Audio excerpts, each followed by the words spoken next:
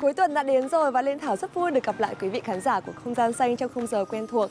Quý vị thân mến, thiết kế văn phòng với không gian mở đang dần dần trở nên thịnh hành trong những năm gần đây. Bởi vì với lối thiết kế này thì những bức tường truyền thống đã dần dần bị thay thế, loại bỏ đi những khoảng cách bên trong không gian làm việc, giúp cho môi trường làm việc của chúng ta trở nên rộng rãi, thoải mái và phát huy tối đa được tinh thần làm việc của nhân viên. Và ngày hôm nay thì hãy cùng với Liên Thảo gặp gỡ anh Nguyễn Anh Dũng để tìm hiểu kỹ thêm về không gian làm việc này nhé.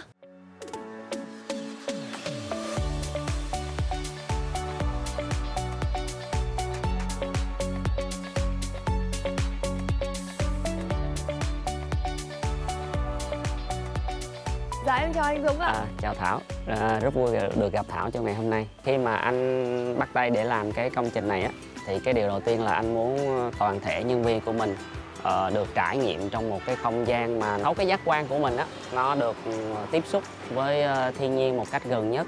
Uh, mắt, tai, mũi, lưỡi, ngay cả những cái xúc chạm của mình, mình vẫn có thể chạm được với cái thiên nhiên. À, cái thứ hai nữa là anh nghĩ là khi mà mình làm kiến trúc á, thì cái văn phòng của mình á, nó cũng đại diện cho những cái mà mình làm ra à, những cái mình làm ra thì đó là hai cái điều mà anh cảm thấy tâm đắc khi anh xây dựng cái cái công trình này Vậy thì tổng diện tích của cái khu công trình của mình là bao nhiêu mét vuông ạ? Công trình mình có 750 mét vuông nhưng mà anh chỉ xây là 150 mét vuông thôi. Tất cả những cái không gian còn lại là anh để dành cho sân vườn và cây xanh. Vậy thì bây giờ em rất là muốn tham quan từng chi tiết nhỏ của khu vườn mà anh đã chăm chút tỉ mỉ có được không ạ? Ừ, xin mời Thảo nha.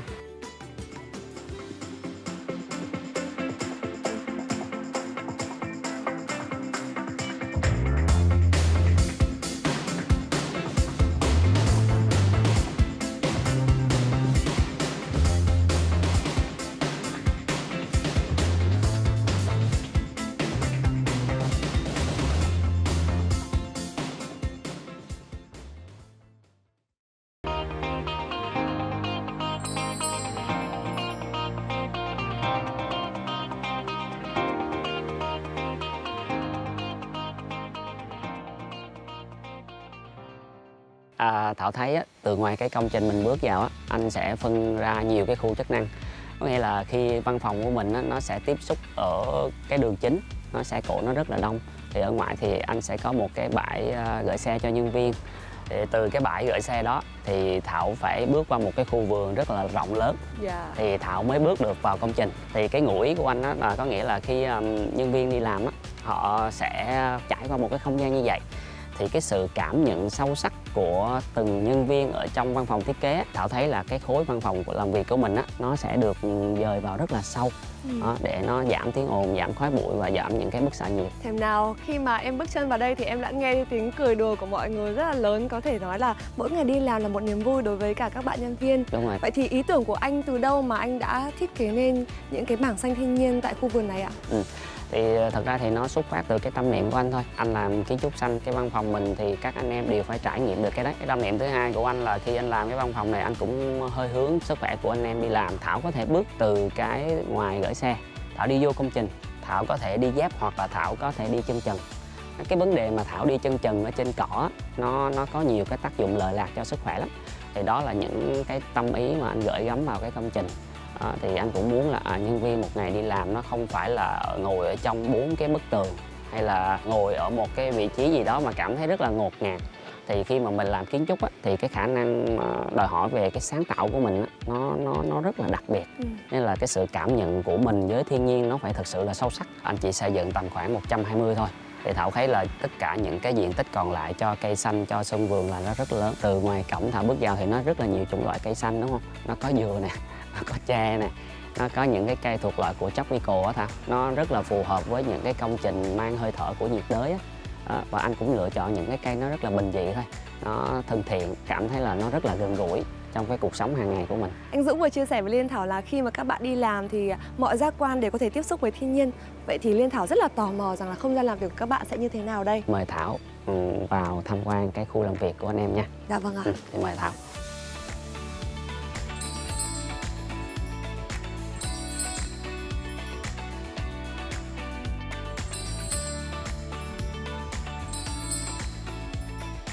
Là một cái khu văn phòng làm việc. Thì ở cái khu văn phòng làm việc này á, anh cũng chia ra hai khu có khu trong và có khu ngoài. À, thảo với anh đang đứng ở cái khu ngoài. Thì cái khu chức năng này á nó sẽ có nhiệm vụ là cho những cái buổi à, đào tạo của nhân viên cho những cái buổi họp của tất cả toàn thể anh em hội tụ về đây à, khu ngoài này cũng dành để cho những anh em có thể là ở trong khu văn phòng có thể ra đây và làm việc ở ngoài này có thể là thảo luận có thể làm việc. Ngôn ngữ thiết kế mà anh đã sử dụng ở không gian làm việc là như thế nào ạ? Về hình khối công trình á, thì thảo thấy là công trình nó tổng thể nó có sẽ có hai cái khối chính ở trong cái văn phòng làm việc. Một cái khối ngang nó sẽ cắn một cái khối dọc và bao quanh những cái khối công trình đó là những cái mảng xanh và tất cả những cái cửa sổ hoặc là cửa đi nó đều trổ ra những cái mảng xanh đó hết. À, giúp cho chúng ta làm việc trong một cái môi trường cảm thấy nó rất là thân thiện và nó rất là tốt cho sức khỏe. Còn về vật liệu thì thảo thấy là anh sẽ chọn những cái vật liệu nó cũng rất là bình dị và nó cũng rất là thân thiện thôi. À, sàn bê tông thô mái ngói đỏ truyền thống kết hợp với những cái kèo sắt đó, rồi những cái gam màu nó rất là trung tính mang lại cái cảm giác rất là gần gũi và rất là thân thiện. Ở đây thì à, gió và ánh sáng là không cần phải bàn nữa nha anh nhờ. Ờ đúng rồi thảo. Vấn đề mà thông thoáng mà chiếu sáng tự nhiên á tận dụng những cái uh, chiếu sáng của mặt trời tận dụng chiếu sáng của ban ngày mình có thể hạn chế bật đèn và mình có cái sự thông thoáng và đối lưu trong cái không khí á, mình cũng sẽ hạn chế sử dụng máy lạnh. Có những lúc mà mình cần thiết quá là nóng thôi thì mình mới sử dụng. Còn không thì mình có thể là mở cửa ra đón ánh nắng vào mở cửa ra đón gió vào. Thì nó cũng là một cái phần để giảm cho cái sự là mình uh, xài điện cũng giống như là nó thân thiện với uh, thiên nhiên hơn. Bây giờ thì anh sẽ mời thảo vào bên trong để xem cái không gian làm việc của mọi người sẽ như thế nào nha. Dạ. À, xin mời thảo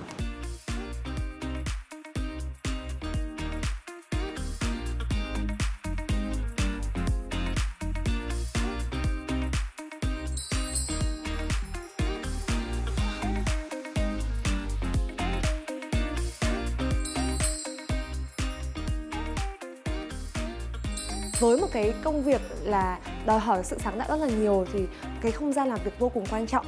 Vậy thì anh có thể chia sẻ kỹ hơn với thảo là ở trong cái khu làm việc này thì gồm có những cái không gian chức năng như thế nào và anh đã lựa chọn màu sắc vật liệu ra sao được không ạ? Thảo thấy trong cái không gian làm việc này á, thì anh cũng sẽ có hai cái chức năng thôi. Một cái là khu làm việc cho anh em, chỗ để anh tiếp khách à, trong phòng làm việc này cũng sẽ có bố trí những cái kệ để mình để hồ sơ là cũng giống như để những cái à, vật mẫu trong quá trình mình thiết kế đó. về không gian thì thảo thấy là nó sẽ không có một cái bức tường nào cả để sử dụng những cái mảng kính nó lớn và những cái cửa sổ để cho những cái view của mình khi mà mình làm việc ở trong văn phòng á khi mình nhìn ra ngoài không có cái sự hạn chế. Đó, thì mình có nghĩa là đứng ở góc nào mình cũng có thể là nhìn thấy được những cái mảng xanh những cái mảng của sân vườn những cái đồ nội thất anh xài thì thảo thấy là à, về đồ gỗ thì nó cũng sẽ rất là mộc mạc. Còn về sàn thì nó cũng là bê tông rồi về mái thì cũng là mái ngói. Cái màu sắc mà anh chọn ở trong văn phòng nó cũng sẽ là những cái màu trung tính à, như là xám như là màu của gỗ như là màu của ờ, nền của bê tông kết hợp với mái ngói.